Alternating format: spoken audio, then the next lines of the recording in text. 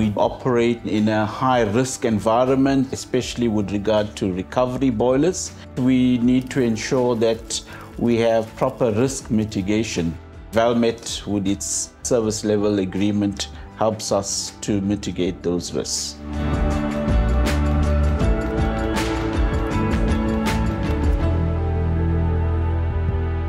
Sappi in Gondwana is a flagship organization of the Sappi Group. It is an integrated pulp and paper mill with product segments being packaging, newsprint, and dissolving pulp.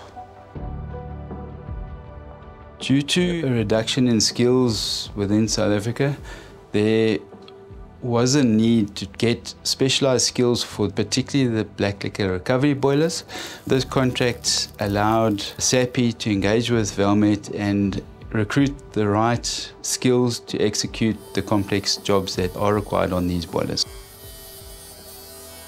The main drivers would be the key skills that Valmet brings to the party, its ability to not only innovate, but also to execute safely with speed in terms of some of the projects that has been undertaken. We have a good dialogue with Valmet. Um, it's open. It's always focused on improving the boiler reliability, availability, as well as operational improvements to see how we can improve the performance of the boiler. The agreement supports the mill in achieving their, their targets by, first of all, not having any lost time injuries, safety comes first.